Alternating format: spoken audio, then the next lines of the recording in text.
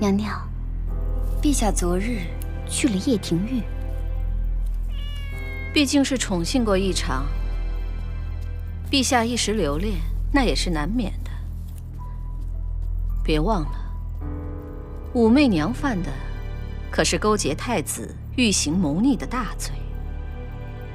就算陛下对她用情再深，也敌不过天理国法的。娘娘说的是，可奴婢这心里边一直在打鼓。之前那武媚娘每一次陷入危局。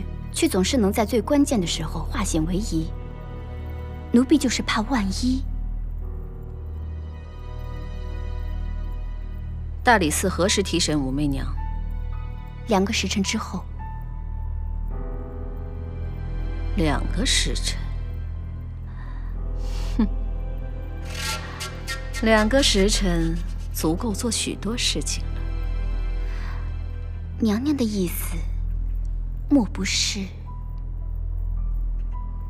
武媚娘的罪行已昭然若揭了，在叶廷玉畏罪自杀，哼，也不意外。啊，奴婢明白娘娘的意思了，奴婢现在就去办。嗯。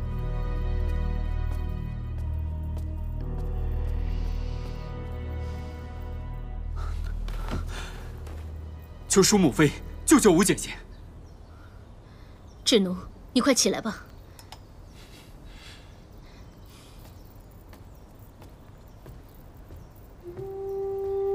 起来。我知道你很心急，我也想救媚娘，可是这一次她犯的罪实在是太重了，我也无能为力。可是舒母妃，吴姐姐她一定是无辜的，其间定是有什么误会。求淑母妃，再去向父皇求求情吧。哎，别别，起来吧，娘娘。娘娘，什么？他们进了叶庭玉？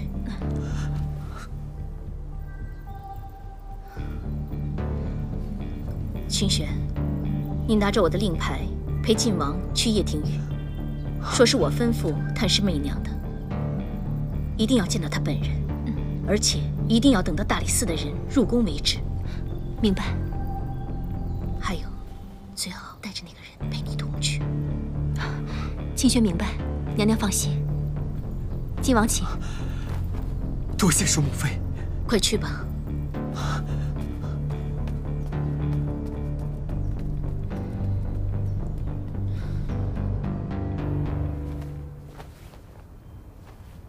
启禀陛下，纵然那侯君集确实纵容其手下在西域境内偶有劣行，那欺侮的也是高昌当地百姓，却与那燕齐有何干系？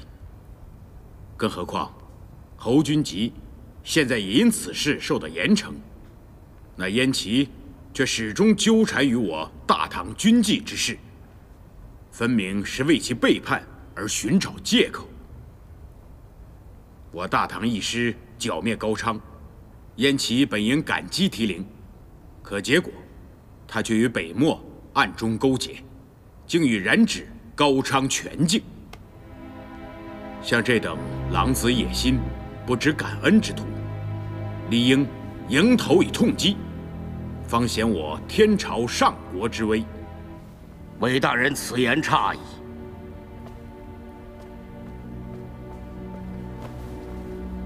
启禀陛下，燕齐反唐，大半乃是因为之前侯君集破高昌后滥杀俘虏，军纪败坏，寒了西域人的心呐。呃，依臣之见，从控制西域长远计，以战胜之，不若以德服之。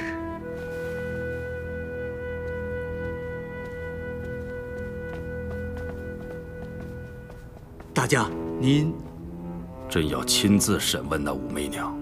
好，移驾夜庭。可是我刚才哪里说错了？你们竟敢抗懿旨不成？淑母妃令牌在此，我要见武才人，马上开门。王爷明鉴，淑妃娘娘懿旨，臣自不敢违拗。只是先前陛下可是传来口谕，武才人一入此地后，便不许任何人探监。总之，你开门便是。有本王和叔母妃在，定可保你性命无忧。臣实在是不敢放人进去。王爷，您若求得陛下首肯，臣对王爷的命令自当遵从。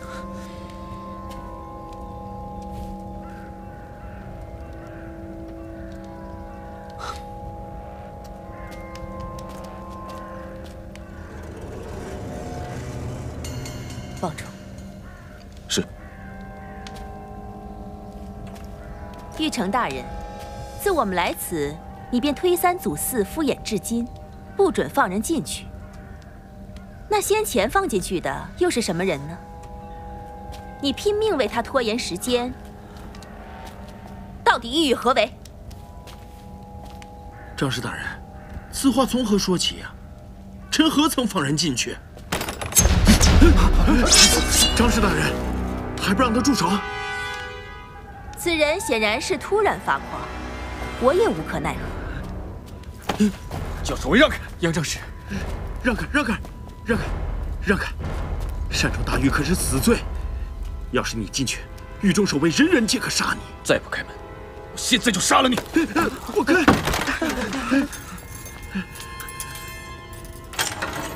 快点！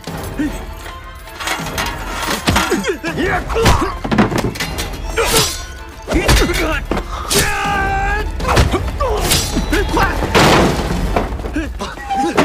有人劫狱了！快！领号示警！有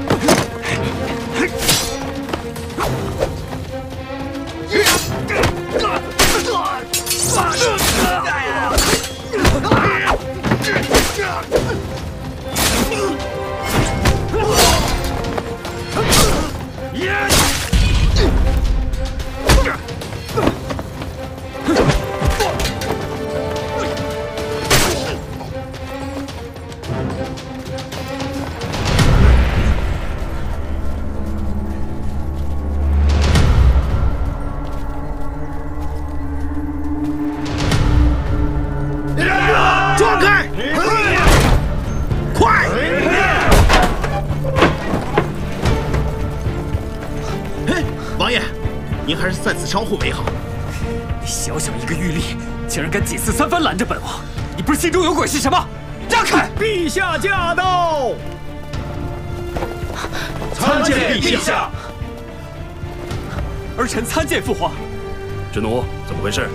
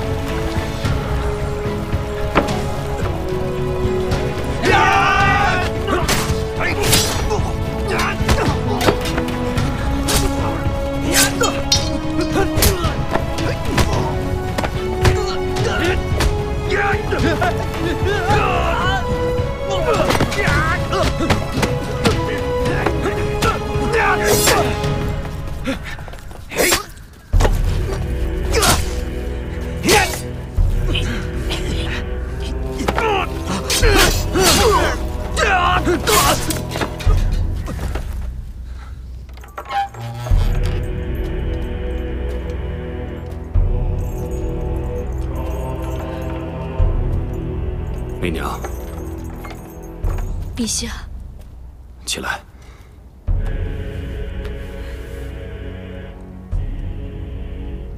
朕知道你不会跟程谦勾结，想要谋逆造反。可你为什么要沉默？为什么不解释？你的口才都到哪儿去了？怎么连一句冤枉都不对朕说呢？陛下已经被怀疑遮住了心，蒙住了耳朵。无论媚娘再怎么解释，你都不会信我的。你这么做，不是自寻死路吗？死路。武氏预言一出，陛下疑我，太子之事，你直接认定了是我。陛下的英明仁爱，可以责备天下世人，唯独不肯给我一线希望。这样的生路，又有何生趣可言呢？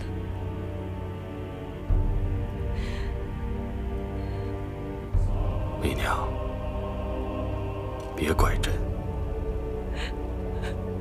朕对不住你，陛下。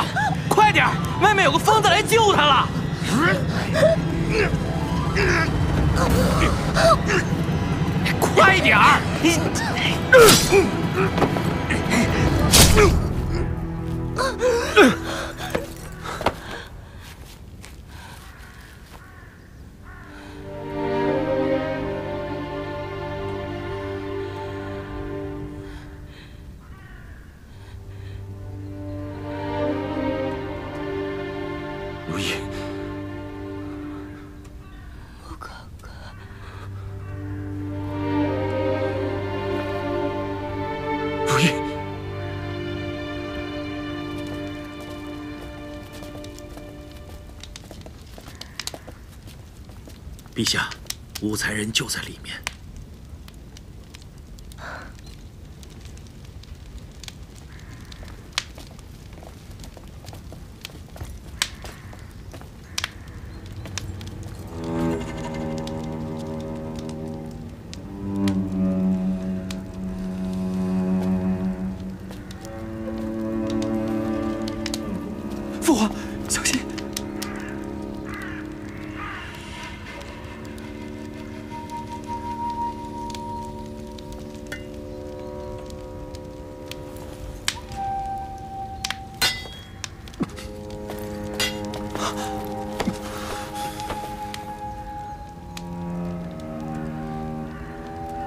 来人呐，把他送太医署。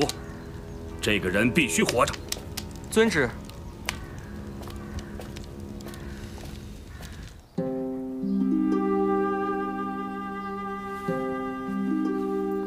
吴姐姐这一次真的受了不少的苦。都说大难不死，必有后福。说起来，这次多亏你了，智奴，能及时赶来显灵宫。要不然，媚娘现在很有可能已经潇潇玉殒。智奴长大了，会保护人了。舒母妃，是那金无畏，他救了吴姐姐。不知道他叫什么名字？他性命无碍吧？他叫李固，是新入宫的金无畏。太医说他只是失血过多，并没有大碍。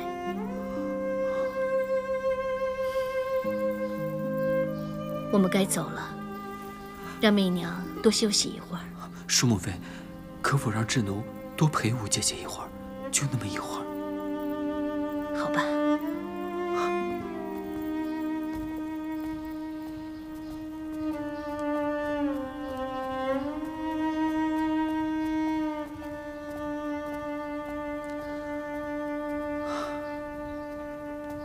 下去吧。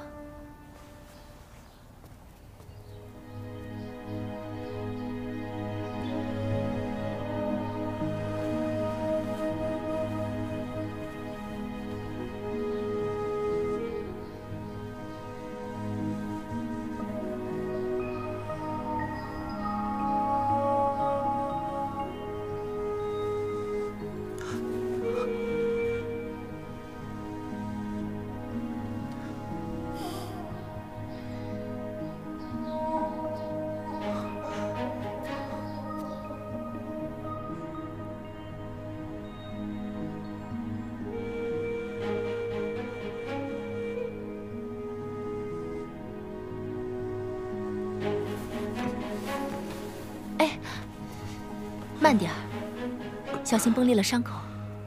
见过张氏大人。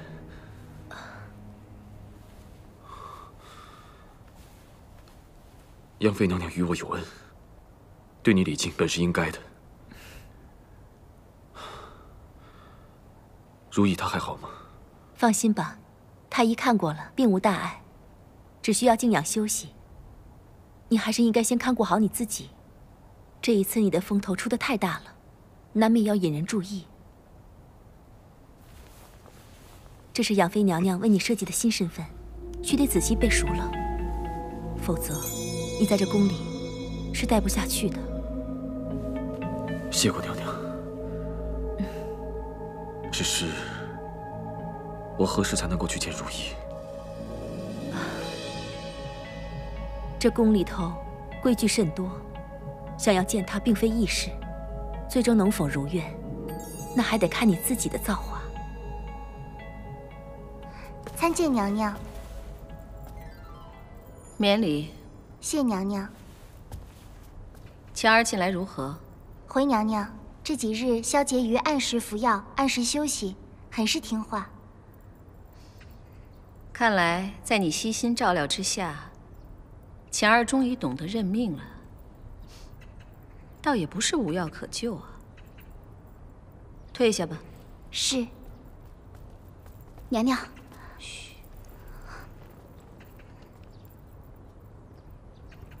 出去说吧。是。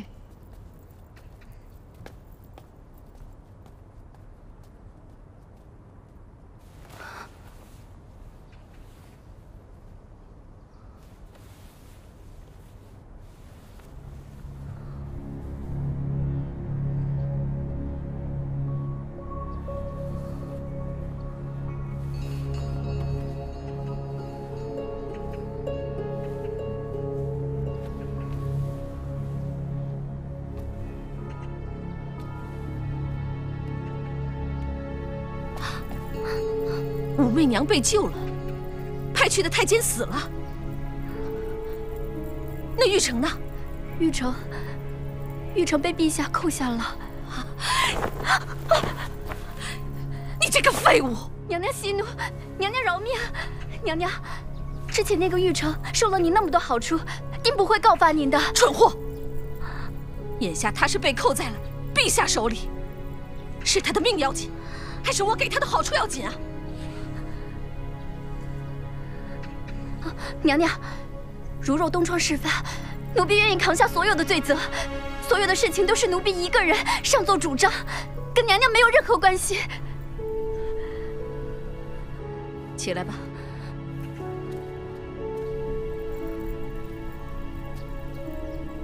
只是，咱们必须从长计议。眼下最重要的是，还是让强儿顺利的诞下龙嗣。媚娘，对不起，都怪我没用。如果我能在陛下面前替你解释清楚，你就不会被打入掖庭狱，差一点命丧于那里。现在又被禁足了。姐姐，这件事情不怪你。陛下其实早就已经知晓此事，他已经有所准备了，也认定了我和太子有勾结之事。那你现在打算怎么办呢？如果陛下又要再把你罚入掖庭，那你刚才大理寺已经派人来询问过我了。你放心吧，我想一定会水落石出的。只是太子谋反一案，这里面的疑点实在是太多了。太子殿下明明就没有被废，为什么还要铤而走险？我也不知道，这中间到底是出了什么差错。除非是他疯了，要不然就一定是有人从中做了手脚。你先别管太子的事了，媚娘，我知道你是冤枉的，大理寺一定会还你一个清白。到时候，你又可以回到陛下身边了。回到陛下身边，嗯，回去了又能怎么样？一次又一次，永无止境。每次离陛下近了一步，就会被逼得又退后两步。每每这样，媚娘现在真的是已经累了。至于真相，不管大理寺最后查出的结果到底是什么，太子谋反一事已经没有办法回头了。可是太子明明不应该反的，为何到了这般田地呢？媚娘真的是难辞其咎啊！我真的不知道，到底是错在了哪里？为什么会变成现在这样？你也不能把这些事情都揽到自己身上啊！如果你看到了澄清殿外遍地的鲜血和尸首，听到太子殿下对我愤怒的诅咒，还有陛下……对我失望痛恨的眼神，你就能看明白。就算是只让我承担一小部分，对于我来说，也已经是太重太重了。而且这件事情还牵扯到了穆哥哥。穆哥哥，媚娘，你说谁呀？把我从叶庭里面救出来的，就是我以前跟你说过的李牧。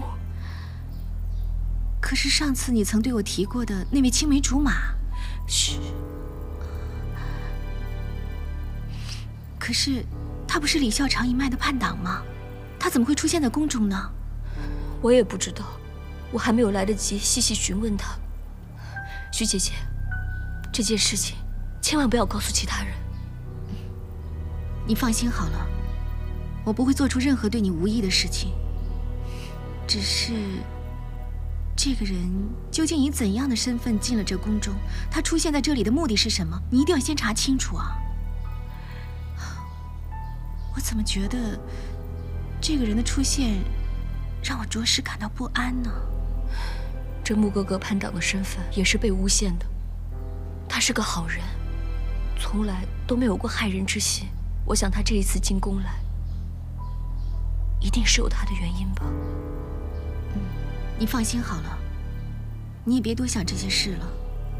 现在你最重要的就是把身体给养好。我再找时间过来看你，啊。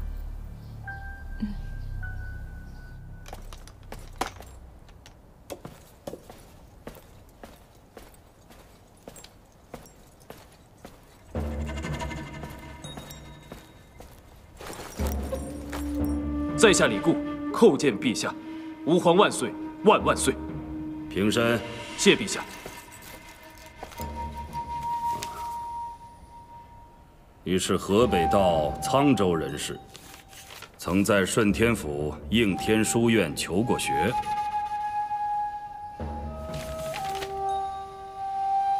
武德元年，书院的侍读学士赵志清曾与朕有过数面之缘。这么些年过去了，不知他的酒品还和以前一样差吗？回陛下，据在下所知，应天书院只有一位赵姓学士，名叫赵志成，他只品茶，滴酒不沾，是吗？那朕记错了。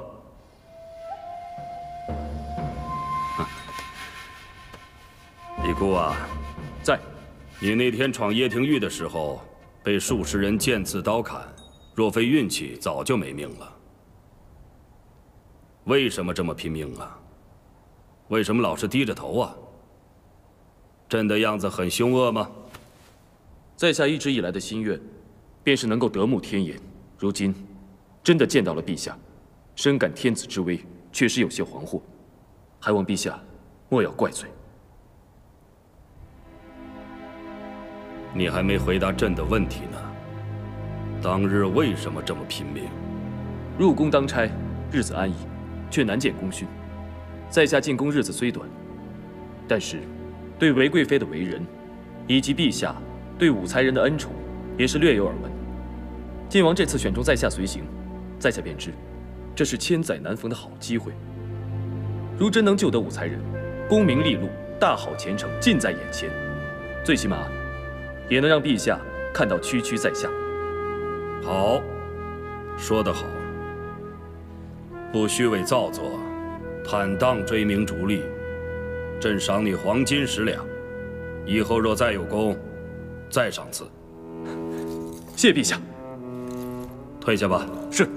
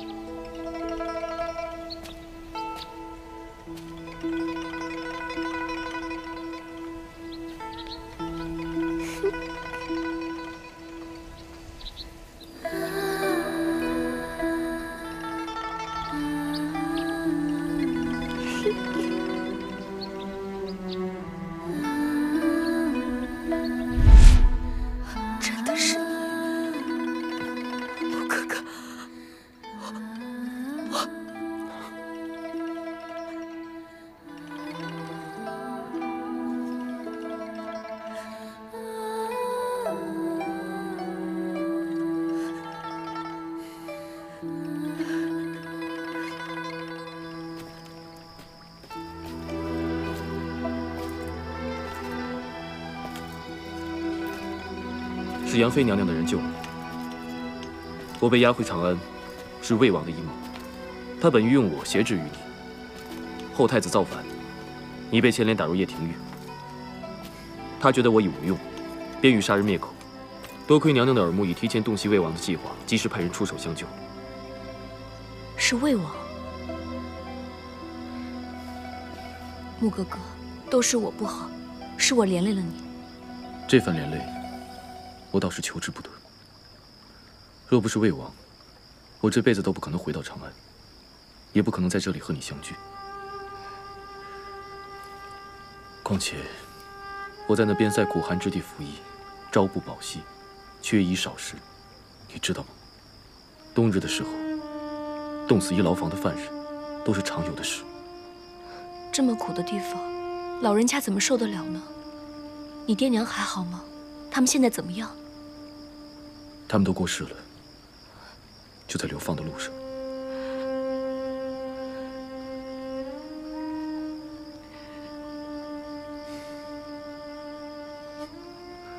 我父母出发前便患了重病，在路上就病发了。也好，没受什么罪，也算是善终了。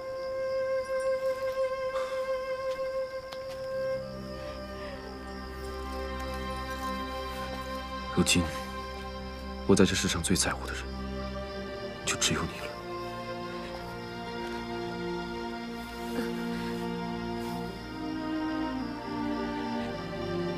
穆哥哥，你进了这皇宫，就是为了要找我吗？我让杨妃娘娘安排我入宫，本应见你最后一面，便远走高飞。记住你今天的模样便足矣了。可是杨妃娘娘与我一席长谈。他告诉我这些年你的情况。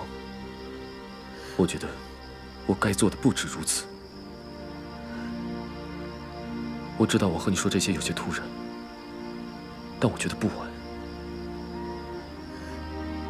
如意，跟我走吧。走。对。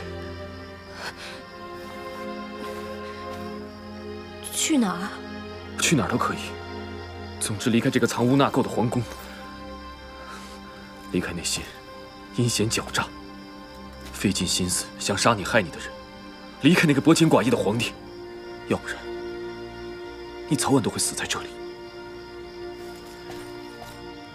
我不可能每一次都出现的恰到好处，也不可能永远救到你。如意，小时候你就说过，想去看西域的风光，我们可以加入一支商队，去高昌，去燕齐，去任何一个你喜欢的地方。总之，离开皇宫，你不要在这里耗费青春，你不属于这里。西域。对。去那里做什么？骑马射箭。纵情高歌，吟诗作画，没有顾虑，没有算计，找回你自己，过快乐的生活。那真是美好的所在。我们走吧，离开这里，忘掉所有的一切，你就当做了一场噩梦。穆哥哥，分开这么多年了，你对我还是像儿时一样好。可是你看看我，你还认识现在的我吗？我已经不是当初那个天真烂漫的如意了。勾心斗角、争宠献媚，我都很在行。我还害死过人。现在站在你面前的这个女人叫媚娘。也许媚娘就是属于这里的，属于这个藏污纳垢、勾心斗角的皇宫。更何况，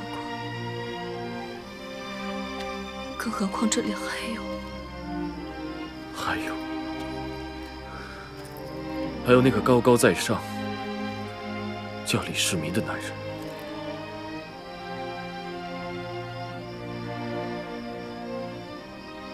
吴姐姐，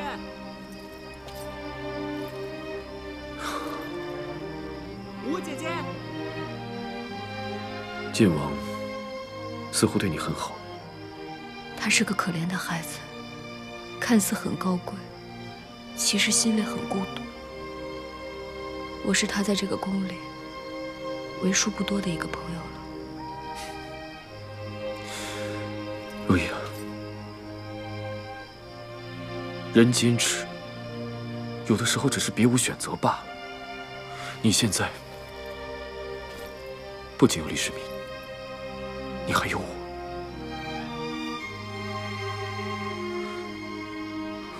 我会在这皇宫里多等你三个月。你自己好好想一想，留在这里到底值不值得？我每日当值都会经过此地。如果你想见我，就在门口摆上一株牡丹，我自会来找你。穆哥哥，分开这么多年了，很多事情。已经全部都变了，现在站在你身后的，是一个叫媚娘的女人，不再是那个天真烂漫的小丫头了。如意最爱牡丹，媚娘却独爱太极宫梅园里的冬菊。如意看到了智奴，会疼爱，会怜惜，可是媚娘却要想尽办法利用智奴来保全自己。回忆是可以用来缅怀的，但那只是回忆而已。不管好坏，现在的我，我的归宿可能只是在这皇宫里。穆哥哥，我不会跟你走的，你也不要再留在这里了。你听我的话，赶快离开这皇宫好吗？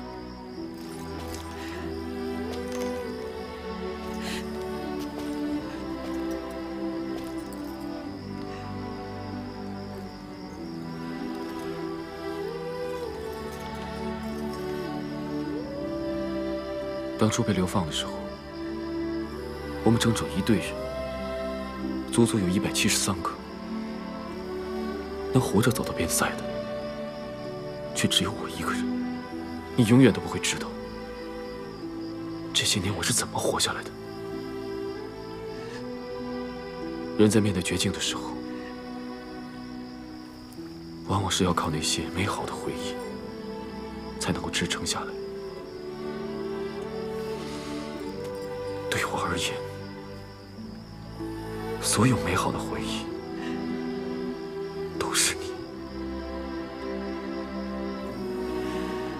我知道，回忆太多了。我脑海中的你，和真实中的你多半已经不一样了。没错，这些年，你我异地相处，也各自有各自的际遇。可不管事情变幻，我始终相信，有一件事情是不会改变的。不管你是媚娘，还是如意，你始终都没把我忘记。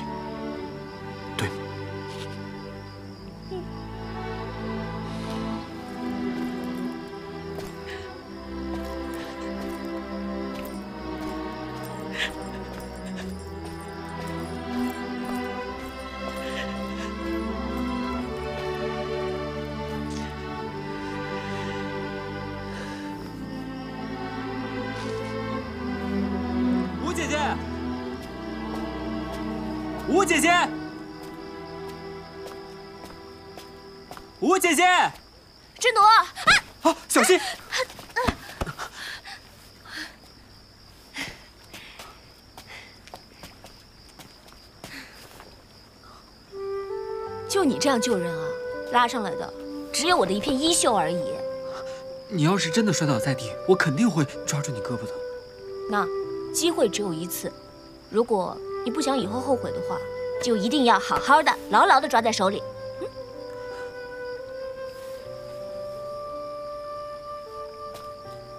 姐姐为何不好好休息，却在深夜出来？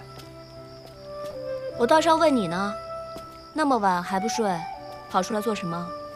要是让别人看到了，肯定我又是罪加一等，说不定还会连累到你呢。不会的，我是一个人偷偷溜出来的，宫里的人都睡着了。睡不着，也有心事。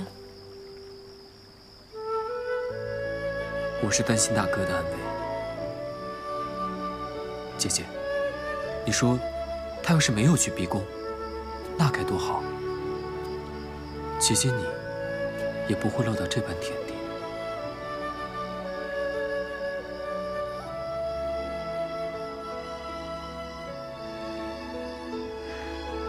智诺，你觉得